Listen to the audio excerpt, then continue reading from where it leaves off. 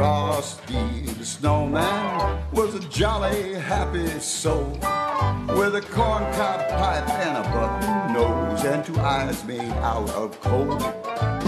Frosty the snowman is a fairy tale, they say. He was made of snow, but the children know that he came to life one day. There must have been some magic in that old silk hat they found. For when they placed it on his head, he began to dance around. Frosty the snowman was alive as he could be. And the children say he could laugh and play just the same as you and me.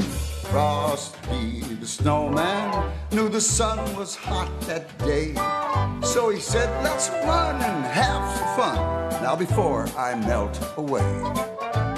Down to the village with a broomstick in his hand, running here and there all around the square, saying, catch me if you can. He led him down the streets of town right to the traffic cop. And he only paused a moment when he heard him holler, stop! Thumpity thump thump thumpity thump thump. Look at that frosty go! Thumpity thump thump thumpity thump thump over the hills of snow. Frosty the snowman was a jolly happy soul with a corncob pipe and a button nose and two eyes made out of coal.